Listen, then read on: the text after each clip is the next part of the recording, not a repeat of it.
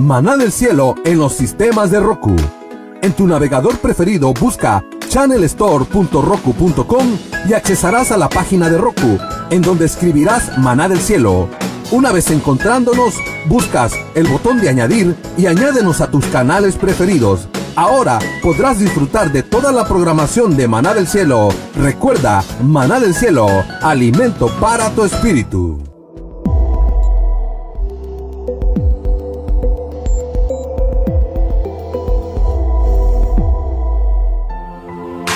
Tanto os digo, que todo lo que pidiereis orando, creed que lo recibiréis y os vendrá.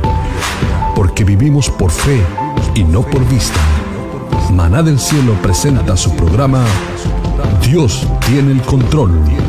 Un programa de fe y de testimonios que te llevará a lo sobrenatural. A continuación. Sobre todo Dios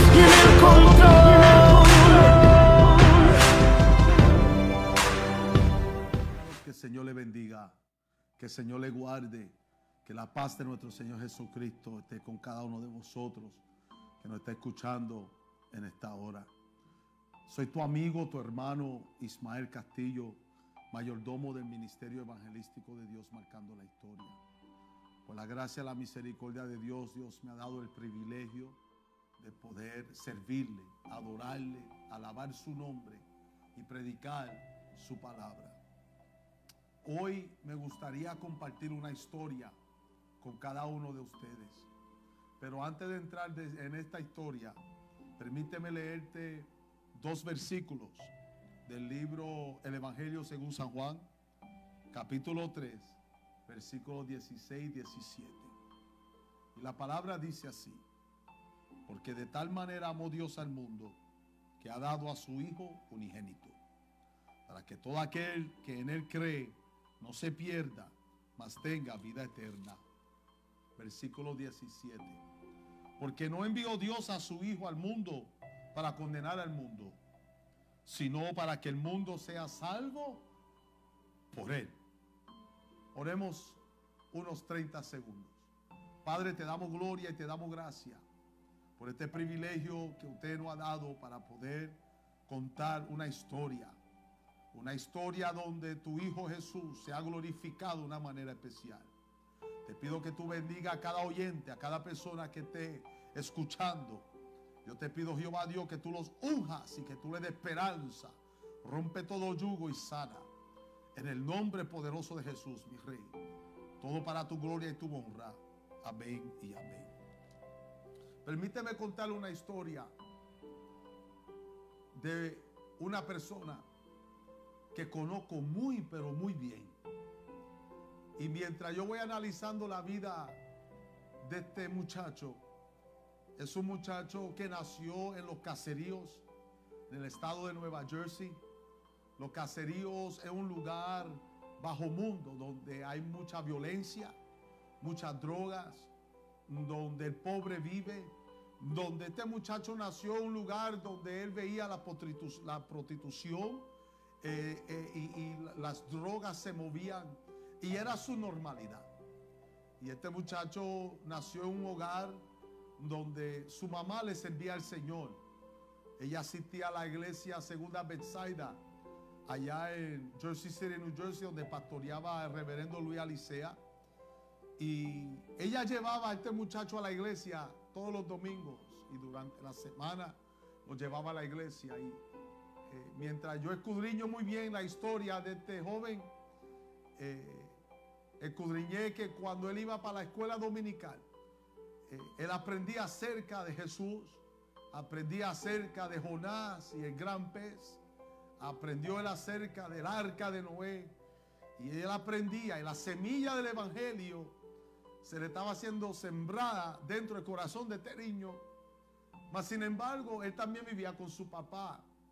Pero su papá llegó un momento que por problemas se apartó de la presencia del Señor y decidió vivir una vida bien fuerte ahí en los caseríos donde vivíamos, en los bajos mundos. Y el papá de este muchacho no le servía al Señor y hacía cosas desagradables y movía sustancias tóxicas en la calle y se pasaba mucho en la barra y también el papá de este muchacho pasaba tiempo con su hijo y todo lo que el hijo miraba de su papá para él era bueno, así como todo lo que él aprendía y miraba con su mamá para él también era bueno, porque era un niño, era un niño de la edad menos de 8 años y como él confiaba y creía muy bien, con certeza que papi lo amaba, y Mavi lo amaba, todo lo que ellos hacían para él era bueno.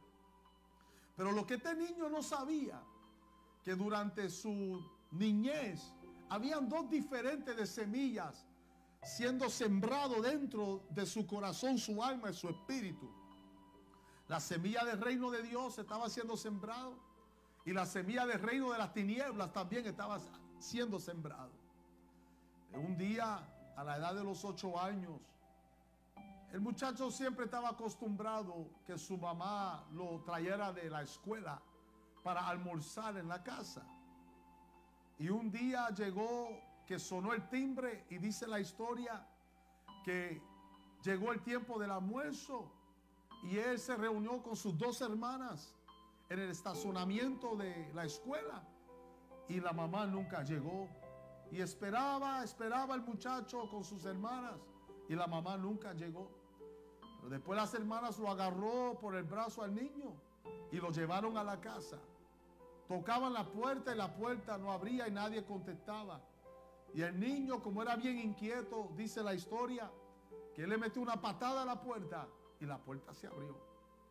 Y mientras el niño iba corriendo a su cámara, a su cuarto para agarrar sus juguetes, sus dos hermanas gritaban, mami, ¿dónde tú estás?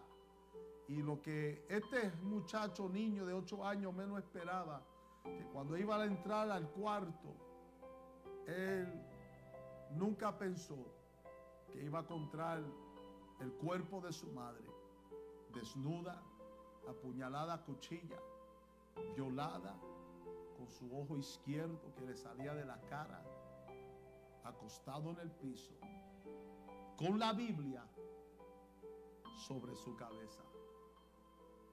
Cuando el niño la vio, todas las emociones de este muchacho se apagaron. Se le apagó todas las emociones. Y él la miró. No sintió odio. No sintió tristeza. No sintió nada. Emociones pagadas. El niño fue trasladado a vivir con sus abuelos, dice la historia. Y allá no lo pudieron tolerar, soportar. De acuerdo a la historia, el papá del niño se enfermó, estaba bien atribulado. Él solamente pensaba en la venganza de la muerte de su esposa. Y agarraron al niño con una de sus hermanas y lo enviaron a la isla de Puerto Rico, al pueblo de Añasco, al barrio San Antonio. Y ahí el niño vivió con su tía, de acuerdo a la historia. Y ahí a los nueve años había un grupo ahí en San Antonio, en el parque de pelota de béisbol, donde se reunían unos muchachos. Y un día el niño, de acuerdo a la historia, fue a averiguar qué era. Y era una pandilla. Y ahí el niño cayó en gracia con los pandilleros. Estos pandilleros se llaman los discípulos del diablo de Añasco, Puerto Rico. Y ahí el niño a la edad de nueve años fue instalado a la pandilla, donde ahí él aprendió aún más de la calle, de pelear, de cómo usar las navajas y cómo defenderse. Pues ya la relación que él tenía con las pandillas era tan fuerte que la tía del muchacho no podía con él. Lo llamaban, llamaban al papá del muchacho con las quejas. Papá venía a la isla de Puerto Rico, de Nueva Jersey, dos tres veces al año para ver cómo podía ayudar al muchacho, pero no había solución. Porque ya él tenía una familia que era pandilleros y ya su corazón estaba tan quebrantado que él apagó todas sus emociones para poder sentir nada. Y es increíble, amado hermano, cómo una persona puede llegar emocionalmente a un estado donde no siente alegría, igualmente que no sienta gozo, gozo, igualmente que no sienta tristeza, Igualmente que ni sienta enojo, nada le importaba a este muchacho. Pues durante los años se quedó en las pandillas, hacía y deshacía. A los 12 años ya no, la familia allá en Puerto Rico no podían con él. Lo enviaron otra vez al estado de Nueva Jersey, donde ya para ese tiempo el papá del muchacho estaba más fortalecido para poder criar a su hijo y a su hija. Y ahí, de acuerdo a la historia, el papá luchó fuerte para que el muchacho fuera a la escuela y juegue deporte, pero ya esa semilla de estar en la pandilla se estaba bien sembrada en él.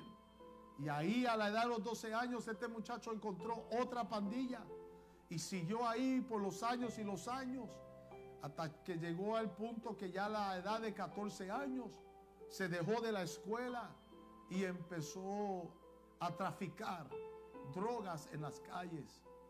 Y ahí este muchacho de 14 años se convirtió en un drogadicto y, un traficante. Adicto a las drogas, adicto al, al alcohol y también traficando las drogas. Ya a la edad de 14 años este muchacho estaba en la calle viviendo cosas en una temprana edad donde un muchacho de 14 años no debe vivirla normalmente. Los años pasaban y pasaban. El muchacho iba creciendo, ya siendo más joven, ya siendo más adulto, y la historia dice que él seguía con la misma vida. No muchos lo respetaban, pero muchos lo temían. Porque este muchacho le metía las manos para pelear a cualquiera y no tenía miedo de morir, sino de acuerdo a la historia. Él retaba a Dios porque él siempre se preguntaba y él le decía al Señor, si mi mamá te servía a ti y mi papá le servía al diablo y ella fue quien murió y él no, pues quiere decir que el diablo es más fuerte que tú. Así era que este joven retaba a Dios. Y de acuerdo a la historia que te estoy contando, hay testimonios que este muchacho le decía al Señor, conviértete hombre porque te odio y me gustaría quitarte la vida. Y todo lo que este muchacho hacía, lo hacía contra Dios. Porque él no podía entender cómo era que su mamá le servía a Dios. Y ella terminó siendo la muerta. Y el papá terminó quedándose vivo y bien. El muchacho se convirtió brujo. Empezó a servirle a Yemayá. Empezó a servirle a Changó. Y todo lo que hacía lo hacía conscientemente, sabiendo que a Dios no le agradaba. Porque acuérdate, hermanos, que de acuerdo a la historia de este muchacho, la semilla del Evangelio ya estaba sembrado en él. Y él sabía lo que a Dios le agradaba y lo que a Dios no le agradaba. Pero todo lo hacía bajo la influencia del odio. El odio lo consumía y quería morir todos los días. Arriesgaba su vida los años pasaban y siempre estaba en medio de peligro, de acuerdo a la historia. El muchacho siempre estaba en medio de peligro. Y las balas de los revólveres le pasaban por el lado y no lo tocaban. Las cuchillas lo sacaban y no lo podían cortar. Y este muchacho pensaba ya que era Superman. Pero llegó el momento que a la edad de los 17 años, de, de tanto entrando a la prisión y saliendo, el juez le dijo al papá del muchacho, ya él va a cumplir 18 años. La próxima vez que él entre a mi cuartel, lo voy a tratar como adulto y usted nunca lo va a ver más. Te sugiero que lo saque del Estado. El juez firmó un papel votando y expulsando a este joven de todo el estado de Nueva Jersey por siete años. El papá trabajaba por el gobierno, de acuerdo a la historia y él se retiró temprano para comprar una casa en el estado de la Florida. Y ahí, en un día, mientras su hijo estaba en el punto de droga, vendiendo droga, él vino con su camioneta y le dijo al hijo, montate. Y el hijo se montó y al estado de la Florida se vino. En el estado de la Florida continuó el muchacho en las pandillas donde se convirtió bien famoso en una de las pandillas internacionales, mundial, pandilla hispana, donde por causa de ética no voy a mencionar nombre. Pero este muchacho ya siendo adulto se convirtió en el tercer enforzador de la pandilla, donde él estaba encargado de todos los asuntos de violencias y guerras contra las otras pandillas y las violencias que habían que atacar y exponer dentro de la pandilla. Y los años pasaron, su fama crecía con él como hombre, hombre violento, no respetado, pero le tenían mucho miedo. Llegó el tiempo que este muchacho cometió un crimen a la edad de los 27 años. Y a la edad de los 27 años se encontró en la cárcel. Se encontró en la cárcel solo en un cuarto donde no querían ponerlo con los otros prisioneros porque decían él es muy malo, no puede causar mucho pleito aquí en la prisión. Encerrémoslos en un cuarto pequeño por 23 horas o 23 horas y media al día. Dejémoslo que salga solo solamente para bañarse y usar el teléfono. Y ahí encerraron a este hombre ya de 27 años. Estoy hablando del mismo niño. De esa historia que yo pude aprender que este muchacho yo lo conozco, pero muy bien. Y a la, y a la edad de los 27 años se encuentra solo en la cárcel, en un cuarto, confrontando mínimo 30 años de prisión. Y ahí, como lo dejaron solo, no le permitieron libros, no le permitieron revistas, no le permitieron radio, nada. Solamente su uniforme y un libro de carpeta dura que en inglés decía en color azul, Holy Bible, la Santa Biblia. Pasó una semana donde el hombre empezó a detoxicarse porque su normalidad siempre era estar ebrio y intoxicado con drogas. Y a, estar metido preso, su cuerpo empezó a detoxicarse. Y después una noche, de acuerdo al testimonio de este hombre, él empezó a escuchar cánticos y alabanzas en su mente, en su corazón, que aprendió cuando era niño en la iglesia Segunda Bethsaida, Montgomery Avenue, Jersey City, New Jersey, donde pastoreaba reverendo Luis Alicea de la Asamblea Iglesia Cristiana. Y ese cántico que cantaba el pastor Alicea, que dice así, quiero cantar una linda canción de aquel que mi vida amó. Es mi amigo Jesús, es mi amigo más fiel.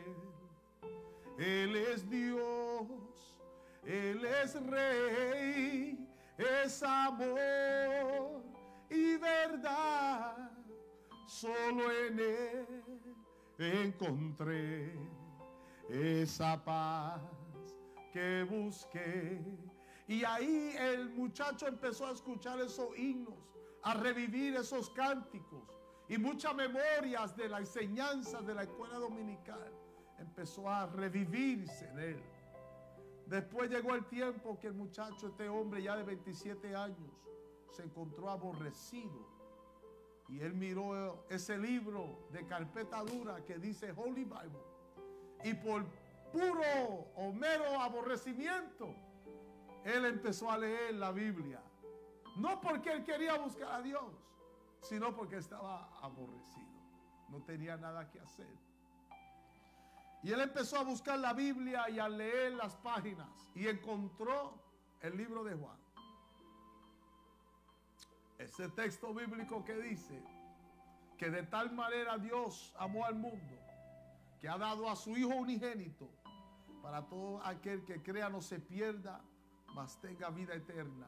Lo que la historia dice acerca de este muchacho es que lo que le impactó mucho de ese texto bíblico era la parte que dijo que Dios amó al mundo. Ahí él entendió que Dios lo amaba. Lo impresionó tanto y lo impactó tanto porque él se preguntaba, ¿cómo es que alguien que yo odio me ame a mí. Si yo te odio, así decía el muchacho. ¿Cómo es posible que tú me puedas amar cuando yo te odio? ¿Quién en sus cabales? ¿Quién en su mente? ¿Quién? Eso no es lógico. Te odio a muerte y tú me amas. Así decía el muchacho. Llegó la noche que el timbre sonó a las 11 de la noche, de acuerdo al testimonio. Que a las 11 de la noche apagan las luces para todos los prisioneros confinados, se tienen que acostar. Y ahí, cuando él se acostó, entró un personaje bello, hermoso, fuerte y amoroso. Entró por las paredes de ese cuarto, la prisión, y se metió dentro de él y lo reprendió toda la noche. Hasta que el muchacho quedaba cansado a dormir por siete noches. Eso ocurrió. Donde Jesús entraba, en ese cuarto lo visitaba, se metía dentro de él y lo reprendía. Después de esos siete días y siete noches de la misma experiencia, el milagro más grande sucedió en la vida de este muchacho. Pudo llorar por primera vez desde la edad de los ocho años. Pudo llorar 18 años sin poder llorar. 18 años sin poder sentir sufrimiento así como alegría. 18 años adormecido y apagado, desconectado del mundo pudo llorar. Dice la historia que las lágrimas le salían por los ojos y él no podía contenerlo. Lloró por un día entero, 24 horas, y lloraba y lloraba y lloraba. Sus ojos se le hinchaban. Los guardias oficiales le daban su alimento y él lo rechazaba. Y él solamente lloraba, lloraba y lloraba. Y él empezó a sentir dolor. Y cuando sintió dolor en sus emociones, se llenó de regocijo. Porque a se le olvidó que él era un ser humano. Amados hermanos, la historia de este hombre fue bien fuerte. Hablando sin detalles, él fue abusado sexualmente, fue abusado emocionalmente, psicológicamente fue abusado físicamente. Y en toda esta, él odiaba a Dios. Y quiero que sepa que la historia que te estoy contando es la historia mía. Yo soy ese niño. Yo soy ese joven. Yo soy ese hombre que estaba en la prisión. Hermanos, yo no podía entender cómo es que Dios nos ama aún nosotros aborreciéndolo a Él. Y ahí yo aprendí y hasta el sol de hoy tengo la convicción que el amor de Dios es tan grande y tan perfecto que Él no necesita que yo lo ame para Él amarme a mí. Él nos ama incondicional. Le encantaría a Él que todo el mundo lo amase. Pero la falta de amor que tiene el ser humano hacia Él nunca lo va a detener a Él para amar a esta humanidad. Por eso Él envió a su Hijo para librarme a mí del pecado y de la muerte. Yo estaba confrontando 30 años en la prisión.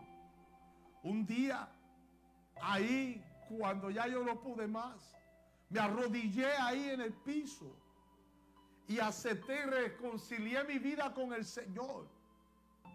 Y ahí yo empecé a gritar a voz en cuello dentro de ese cuarto. Cristo te ama. Cristo vive. Aleluya.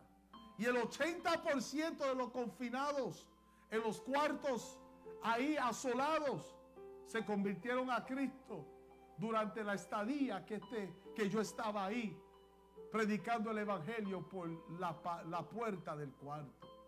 Pero ahí Dios me salvó, me dio los dones de lengua, me bautizó en el Espíritu. Fue una experiencia increíble. Pero todavía yo estaba confrontando 30 años de prisión. Me arrodillé y yo le dije al Señor un día, Dios, yo haría estos 30 años con mucho gozo si solamente tú la haces conmigo. En mi ignorancia hablaba yo así. Pero entiéndeme, así como Moisés le dijo a Dios, yo iré, pero con tu presencia, sin tu presencia no iré. Yo le dije, Señor, yo hago estos 30 años sin problema, pero que usted esté conmigo. Y yo estaba dispuesto de confrontarle estos 30 años, someterme a ellas sin problema ninguno. ¿Sabe por qué?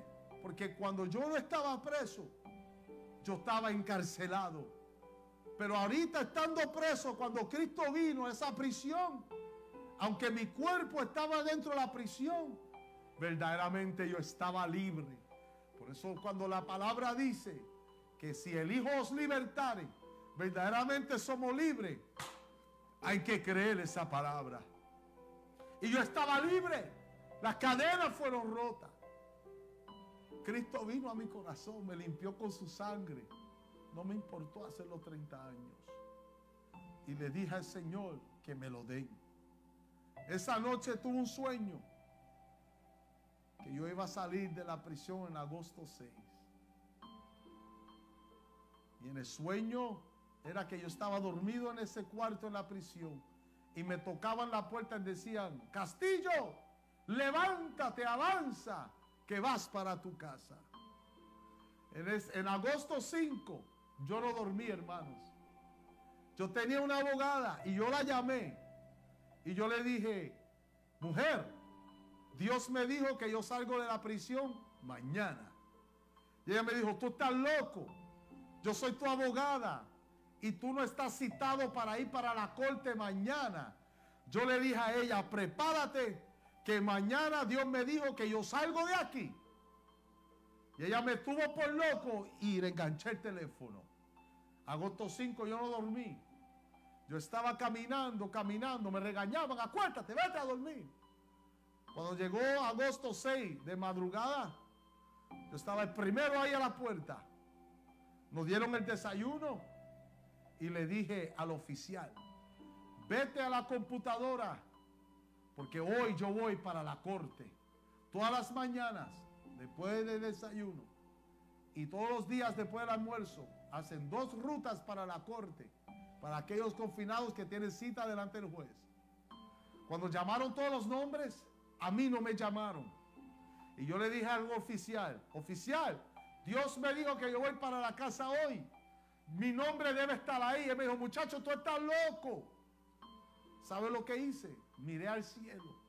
Y yo dije, lo que es imposible para el hombre es posible para Dios. Una paz profunda vino sobre mí y me acosté a dormir. ¿Qué te dije del sueño? Que yo estaba dormido. Y me acosté a dormir. Me quedé un sueño profundo, dormido en paz. Después del almuerzo, me fui para atrás a dormir. A las 2 de la tarde, así como en el sueño, me tocan la puerta. Pam, pam, pam, pam, pam, pam, pam. Castillo, levántate. Que tiene una cita especial hoy en la corte. Fui a la corte. Y Dios me dijo en el sueño que en agosto 6 yo salía e iba para mi casa. Mi abogada no lo sabía. Nadie lo sabía. Solamente el reino de Dios y este servidor. Todos me tenían por loco. 15 minutos antes de las 12, entrando a agosto 7, a las 11 y 45, estoy caminando fuera de la prisión, en camino a McDonald's para comerme un cheeseburger. Y de ahí para la casa. Eso lo hace Cristo. ¿Qué te estoy diciendo, amados hermanos? Mucha gente en mi familia perdieron la esperanza de mi vida. Mi papá llegó a los pies de Cristo mientras yo estaba en la calle y él oraba por mí. Cuando yo pensaba que yo era Superman porque ninguna bala me tocaba, Durante el tiempo encontré que mi papá le escribía al ministerio del evangelista Gille Ávila. Y el evangelista Gille Ávila ayunaba por mí mientras yo estaba en la calle. El evangelista Gille Ávila, Ávila ponía a todos los intercesores. La mayoría de las iglesias en Puerto Rico me conocían por mi nombre y clamaban por mí y ayunaban por mí. Y mientras yo pensaba que yo era intocable, la razón que yo no estaba muerto en la calle ahí viviendo la vida como hijo del diablo en las pandillas, era porque había un pueblo clamando por mí. Por eso te digo, padre y madre, hoy que me está escuchando, sigue clamando por tus hijos. Yo soy producto de la oración eficaz del justo. La misericordia vino sobre mí. Las balas me rociaban, no me tocaban. Me ponían, yo tuve una experiencia donde me han puesto el revólver aquí en la cabeza y no podían jalar el gatillo. Y yo pensaba que yo era grande, intocable. Eran las oraciones. Era la misericordia de Dios que por amor a los justos, Dios tuvo misericordia a un injusto. Hoy te vengo a decir que a la verdad te digo que yo te puedo testificar que Dios tiene el control. Mi vida estaba descontrolada, pero Dios nunca se descontrola. Mi vida estaba fuera de orden, pero Dios nunca pierde su orden. Mi vida estaba desnudo y vacío, sin esperanza, pero Dios nunca pierde la esperanza, porque Él es nuestra esperanza.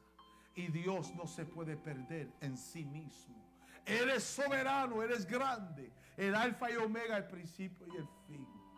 Amados hermanos, esta es mi historia. De ahí Dios me sacó de un mundo lleno de drogas, alcoholismo, de un mundo lleno de noches, de oscuridad, donde habían solamente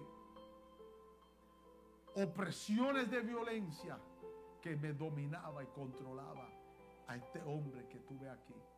Llevo 11 años sirviéndole a Cristo. 7 años en el ministerio, predicando el Evangelio. Y te digo algo, todo lo que Dios ha hecho por mí ha sido para bien. ¿Cómo es posible que alguien que yo odiaba tanto me amaría con todo su corazón. Amados hermanos, escucharme bien lo que te estoy diciendo. Recibe el consejo de Dios en esta hora. Pase lo que esté pasando en tu vida. Yo no sé qué condición está tu esposo. Yo no sé qué condición está tu esposa. Yo no sé si tu hijo está en la calle en las drogas y usted ni sabe si él vive o no. Mi papá pasó por años, ya mis hermanas me tenían por muerto. Rumores en el estado, en el estado de Nueva Jersey, que ya yo estaba muerto. Gente iba hacia mi hermana y le preguntaba, ¿y tu hermano? Y ellas decían, yo no sé si él está muerto o no, no sabemos de él. Así era la condición conmigo. Mi papá ni sabía si yo respiraba. Pero Dios nunca quitó su ojo de mí porque había un pueblo clamando. yo no sé qué condición está tu hijo, tu hija, qué condición usted está. Pero algo sí te digo. Jesús dijo, aleluya, todo lo que pidiera el Padre en mi nombre creyendo. Todo lo que usted le pida al Padre en mi nombre, dijo Jesús, en mi nombre. Todo lo que tú le pidas al Padre en el nombre de Jesús creyendo, será hecho. Eso es caso cerrado. Eso, es, eso está establecido. No hay nada, nada que puede quitar esa promesa. Porque si él, si él lo dijo, yo le creo. Porque Él es Dios. Mira, Jesús dijo esas palabras y a través de Él todas las cosas fueron hechas. Por Él y a través de Él. Y si no fuese por Él, nada lo que está hecho hubiese estado hecho. Yo te estoy hablando del Cordero y el León, el Alfa y Omega, el omnipotente, el omnipresente, el omnisciente, el todopoderoso, el yo soy, dijo todo lo que pidiera el Padre. My God, en mi nombre será hecho. Es tiempo que clames. Clama. 18 años de clamor. ¡Qué perseverancia! Dos años más, llegaba dos décadas de un pueblo clamando para que Cristo salve mi vida. No te canse, valió la pena. Y yo le doy gracias a Dios por esos guerreros. Yo le doy gracias a Dios por esas iglesias que ayunaron por mí, que oraron por mí, que ellos se aseguraron, ellos se aseguraron en su fe, en su fe, que tarde o temprano yo iba a venir a los pies de Cristo. Y hoy me estoy gozando. Tengo una familia, trabajo, atiendo el ministerio, marcando la historia como mayordomo. He viajado unas cuantas naciones, predico en campañas y veo como Dios está salvando las vidas. ¿Por qué te testifico de mi éxito hoy? Número uno, lo tengo por la gracia y la misericordia de Dios. Número dos, si Él lo hizo conmigo, lo hace con cualquiera. Acuérdate que aún cuando en el momento de mi vida todo estaba descontrolado, Dios estaba inclinando su oído a la oración del justo y Él tuvo control de todas las cosas. Y Él tiene control de todas las cosas. Y Él tendrá control de todas las cosas. Hermanos, yo odiaba a mi, a mi madre. Porque yo decía, ¿cómo me dejaste? Fui criado sin madre. Yo odiaba a mi papá. Odiaba a mis hermanas. Todo lo que era bueno, odiaba. Todo lo que me amaba, yo odiaba. Y hoy yo puedo decir, Ebenecer hasta aquí me ha ayudado Jehová. Que Dios, por amarme a mí, hoy yo puedo amar. Y déjame decirte algo. Yo estaba tan encerrado y tan adormecido en mis emociones que hoy mucha gente se quejan por sentir dolor. Yo le doy gloria a Dios que yo puedo sentir dolor, porque yo no sentía nada. Yo le doy gracias a Dios que yo puedo sentir angustia, porque yo no sentía nada. Hoy yo puedo decir cuando lloro, hermanos, que soy un ser humano. Hasta las bestias irracionales de campo tenían más afección que esta persona. Gloria a Dios que yo puedo llorar. Gloria a Dios que yo puedo hasta irritarme y molestarme cuando alguien me hace algo. Qué bueno es que puedo sentir. Estoy vivo. Yo era un hombre vivo, muerto, caminando. Pero hoy, si alguien me ofende, me lastimo. Y para mí, puede ser tu queja, pero para mí es un milagro, porque nada me hacía sentir nada. Gloria a Dios que hoy puedo disfrutar, que soy un ser humano, puedo sentir. Soy vulnerable, hermanos, lloro. El milagro más grande para mí fue poder llorar. So te digo algo, hermanos que me escuchan, usted que me está escuchando, por favor confía y estar quieto, reconocer que Jehová es Dios. Él tiene el control de todas las cosas. Que el Señor te bendiga, que el Señor te guarde y que la paz de nuestro Señor Jesucristo sea con cada uno de ustedes. Quiero orar yo quiero que si alguien me está viendo, está escuchando este testimonio y desea reconciliar su vida con Cristo, repite estas palabras conmigo. Bien sencilla. Y te pido que lo repitas con boca abierta, porque la palabra dice creer en tu corazón y confesar con tu boca. Repite conmigo, Padre, perdóname por todos mis pecados. Me reconcilio hoy contigo. Te acepto como mi Salvador. He reconocido, Dios, que tú eres grande, que tú tienes el control. Escribe mi nombre en el libro de la vida y hazme de nuevo. Límpiame con tu sangre en el nombre Bienvenido a la familia de Dios. Bienvenido al cuerpo de Jesucristo. Bienvenido a la iglesia de nuestro Señor Jesucristo. Estoy bien orgulloso de ti. Me quito el sombrero. Y ahorita me gustaría hacer una oración para todos aquellos que creen que están perdiendo, que las cosas no van bien. Hoy voy a orar por usted.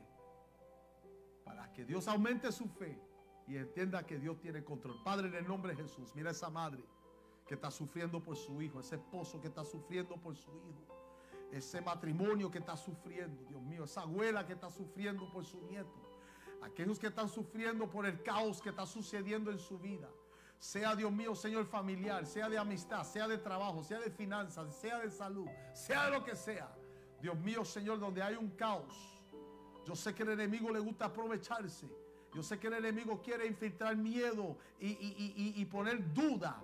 Pero así Jehová Dios, como tú hiciste con tus discípulos, que cuando ellos estaban llenos de miedo, tú llegaste a la casa y te paraste en medio de ellos y le dijiste a, a todos, paz a vosotros. Yo pido en el nombre de Jesús que esa palabra, paz a vosotros, sea desatada del reino de los cielos hacia la vida de cada persona que está escuchando esta oración en el nombre de Jesús. Bendice su casa, bendice su familia y trae paz, la paz de Cristo que sobrepasa todo entendimiento. Aleluya. Esa paz que sobrepasa todo entendimiento.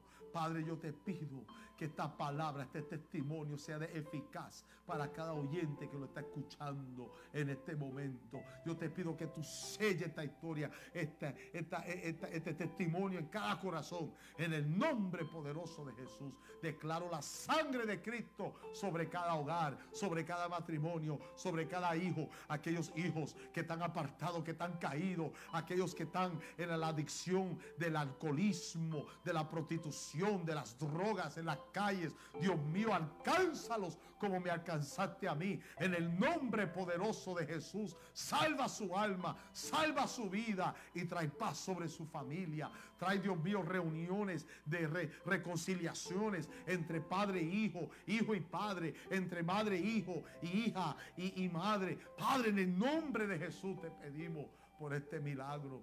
Glorifícate en una manera especial en el nombre poderoso de Jesús. Aleluya. Padre, la gloria es tuya.